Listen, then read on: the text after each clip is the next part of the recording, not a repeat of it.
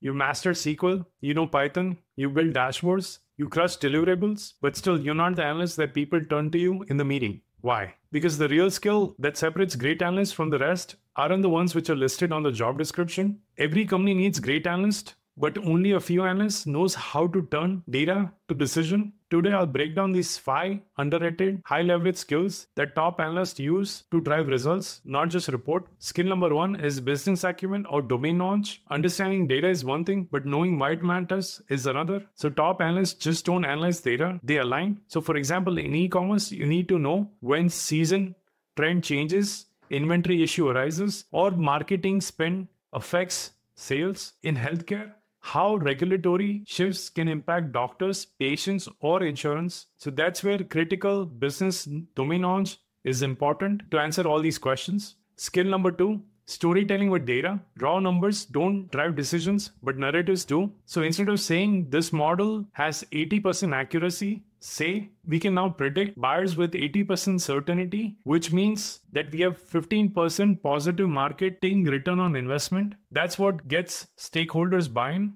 When you tell a story along with the data, backed by numbers, but even great story sometimes fails. That's because either your data is wrong or your data is misunderstood. That's where critical thinking becomes your secret weapon, which is the skill number three critical thinking. So you want to become a data analyst? My Analyst Accelerator course will just help you do that. In just few days, you'll go from feeling lost in spreadsheets to building clean reports and dashboards with confidence. You learn how to ask questions, work with messy data, and explain your work in simple, clear terms. The link is in the description below. If you want to feel confident when someone asks for insight, this course is your starting point. Your job isn't just to run queries, but it's to question the data, what's missing, if there's some biases, or who might be impacted if this report goes live. So, for example, an analyst flagged 80% customer satisfaction until they realized the cancelled user were excluded from the survey. Now that changes everything. And when the time is right, that's where critical thinking comes into picture. The analyst should have questioned why there is such a high customer satisfaction. Skill number four is collaboration and communication. So top analysts just don't work in silos. They synchronize with the business,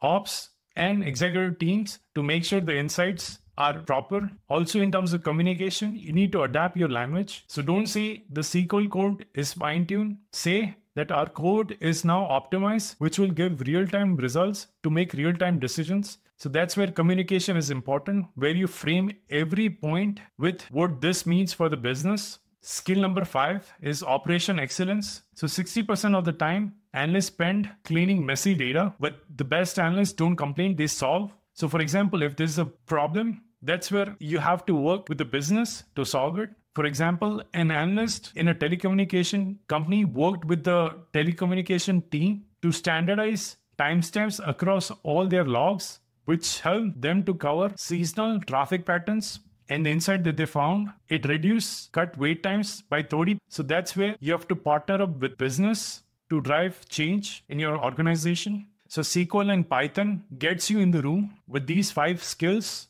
They get you promoted with data and just not work with it. This is how you stand out.